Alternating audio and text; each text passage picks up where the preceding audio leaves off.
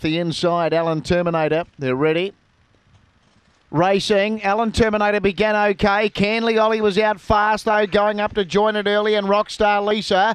It wasn't far away in third spot, going around the first term. It got into trouble. Getting past it now was Alan Portland. Then Crown Jester, Mr. Rajay, Just Lonely Boy and Sturridge. There's only two hopes off the back. Alan Terminator led, but Canley Ollie's got it in its sights. Looms up now. Canley Ollie goes up, takes the lead from Alan Terminator. Then Alan Portland and Canley Ollie goes on to score. Gee, there's not much in it between the Allens on the line for second and third. Alan Terminator tiring. Alan Portland closing in. Mr. RJ will be fourth.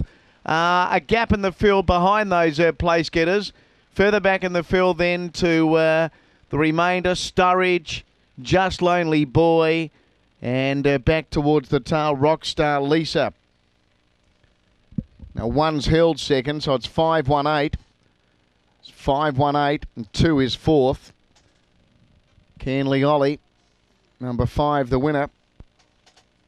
Number 5. Canley Ollie taking the opening race tonight by Premier Fantasy at